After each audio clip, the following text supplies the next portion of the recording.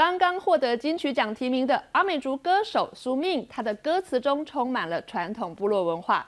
最近，他跟来自澳洲的原住民团体维波珍妮一起登台演出，而且还带他们去台东铁花村体验台湾的部落文化。夫妻档维波珍妮两千零七年开始组团演出，曲风融合了爵士和民谣，在澳洲大受欢迎。这次跟宿命合作演出，更是让大家惊艳不已。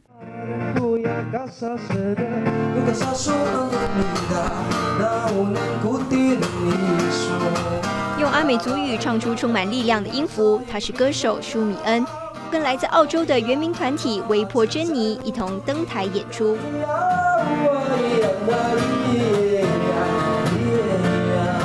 我觉得算很难的，因为要要不然，老实讲，我们看到澳洲的一些原住民音乐，其实我们还是期待的都是那些很传统的元素。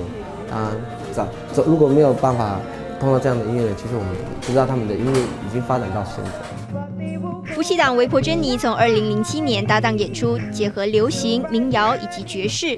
2012年举办房子音乐会，巡回澳洲演出，柔美的嗓音、清新的曲风大受欢迎。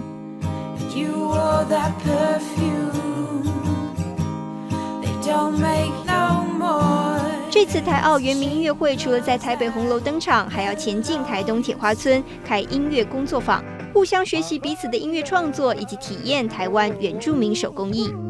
Very excited to get out to uh to see his tribe and and um and, and to see the area that the country.